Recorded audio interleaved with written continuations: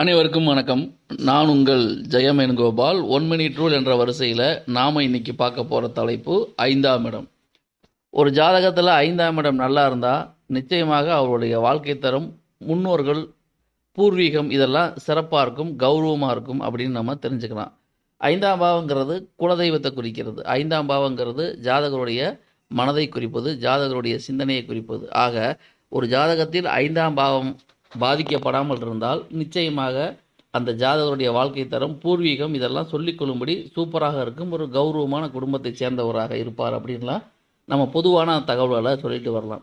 இப்போது ஐந்தாம் இடத்துல சுப கிரகங்கள் இருக்கிறது என்பது ஐந்தாம் இடத்தை சுப கிரகங்கள் பார்க்கறது அப்படிங்கிறது ஐந்தாம் இடத்துக்கு முன்னாடியும் பின்னாடியும் சுப கிரகங்கள் இருக்கிறதுங்கிறது ஐந்தாம் பாவத்தை வலு சேர்க்கக்கூடிய ஒரு மிகச்சிறந்த அமைப்பு. ஐந்தாம் இடம் நன்றாக இருந்தால் வாழ்க்கை தரம் நன்றாக இருக்கும். நன்றி வணக்கம்.